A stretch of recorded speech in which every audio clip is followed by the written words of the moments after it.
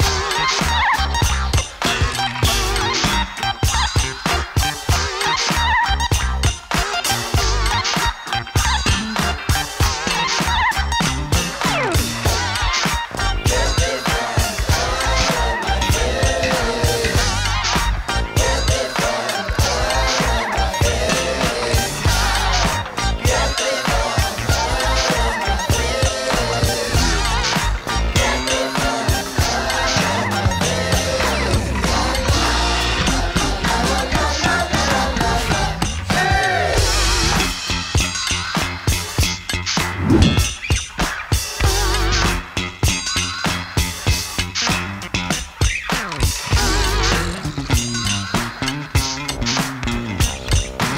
days later. So there it is. It didn't take long after starting to shave it down. The aroma coming off of it, black walnut. Absolutely, without a doubt. I'm not sure where I got this piece of wood from, but it turned out really nice. The handle fits really nicely in the hand.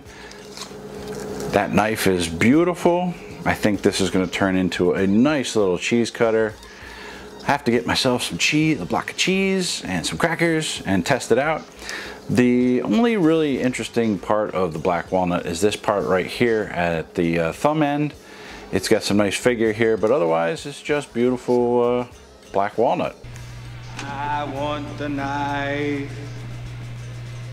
I really like this. I'm gonna put it to use. I hope you liked this video. If you did, consider hitting that like button, subscribe if you haven't already, and that notification bell.